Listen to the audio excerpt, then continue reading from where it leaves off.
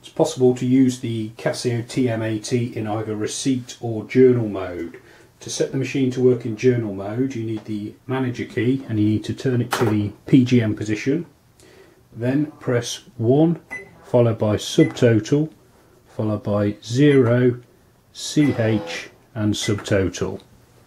The machine will now be set to work in journal mode so you can turn the key back to the reg position and move the paper on to the take-up spool at the back of the machine. More information on Casio cash registers, please visit casiohelp.co.uk. Thanks for watching.